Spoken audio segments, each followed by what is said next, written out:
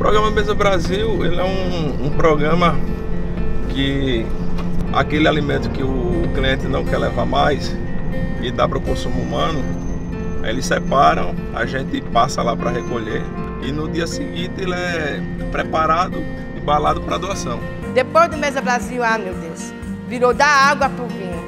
O Mesa Brasil já traz higienizado, traz no saquinho verdura, é fruta. Ai, eu não tinha nem o que falar, porque até diz que ele ajuda demais aqui. Eu fico muito contente e a sensação é muito forte. Só de olhar o, olhar daquelas pessoas que necessitam, é o sorriso, a satisfação de, de, de receber esse alimento. Então eu fico muito feliz de fazer parte desse programa Mesa Brasil, que só faz o bem.